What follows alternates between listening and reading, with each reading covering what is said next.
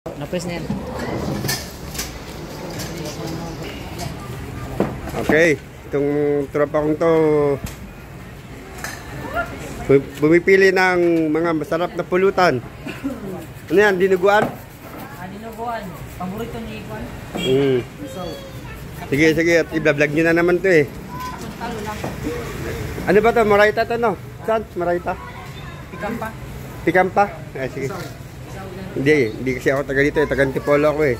Kaso, nat- natalo yung kapitan namin sa yun, kanya. Mm.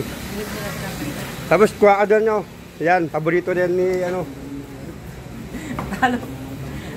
Mm, yan. Ta-. Okay. Mm. Dito ang masarap ah, bumili. Masarap bumili ng mga pulutan. Sir, paano lang?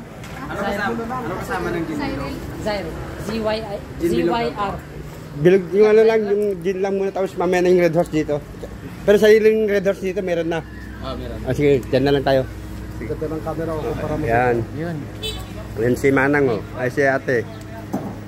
Tsaka si Kwan pala, si Sir. Yung Mm. kapitan namin. Tawag yan. Kahit, Natalo. Natalo sa aming kumpanya. ay, natalo. Oh, Nung natalo. siya, Naglilibre lang siya ng barbecue. Kasi pag nanalo daw siya, lahat barbecue bibilin niya. Hmm. Pati mga tao daw bibilin niya. Oh, ako naman ako. Ayun, itong paborito ko. Kay Tangus tilapia. Ayun, kapitan namin oh. Natalo. Natalo. Bad trip.